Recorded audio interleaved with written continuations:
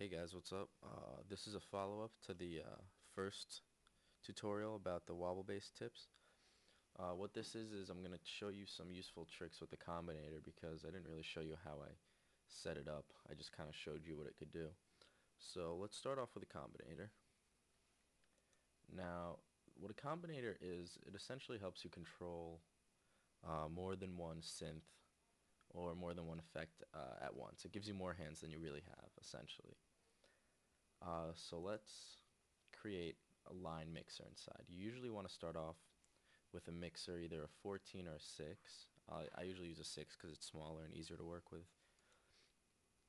Now, after you have a combinator and a mixer, you can start adding instruments. So let's create a piano first. Now I'm just going to pick an NNXT advanced sampler.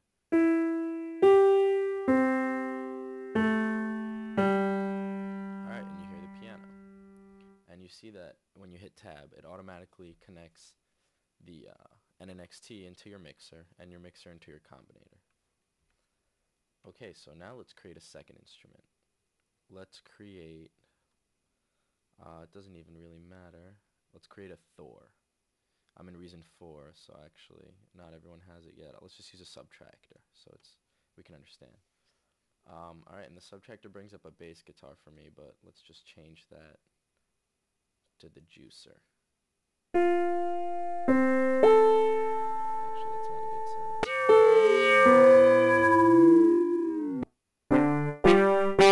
Alright, that's a good one.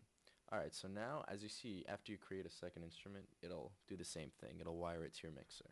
So now, essentially, you have a mixer within the combinator that you can mix the tracks.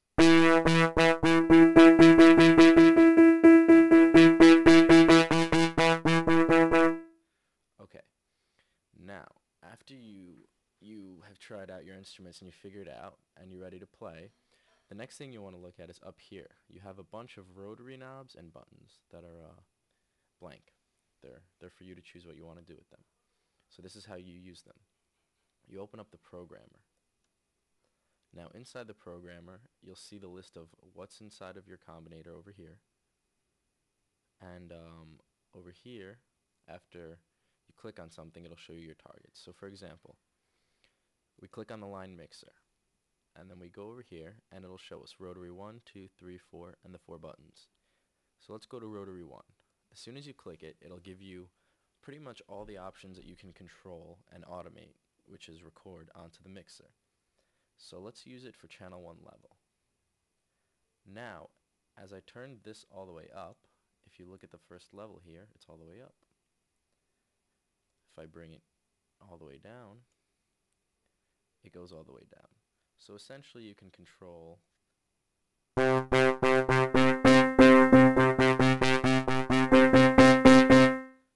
uh, piano level and the rotary isn't just for the mixer.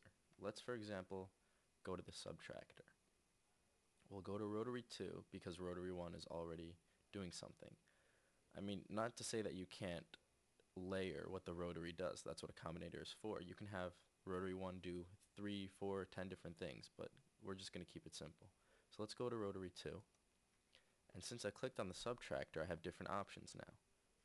So let's make rotary 2 to the, uh, the first oscillation wave. Uh, it's going to affect the octave. Okay, so let's go back up here. Now let's mute the piano by lowering that. And now as I play this, I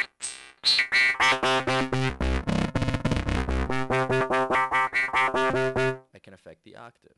Now the same thing applies for the buttons. Let's go to back to the line mixer.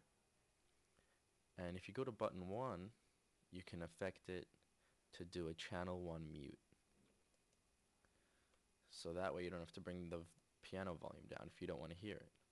So you're playing the piano and the brass, and then you mute the piano. Alright, these are just the basics of what a combinator can do. Um, you gotta be creative with it. Uh, the only real limits is uh, your creativity. So let's see what you guys can do. Alright, if you need any other tutorials, uh, please leave a comment, and uh, if this tutorial helped, please leave a comment too. Alright, thanks a lot guys, peace.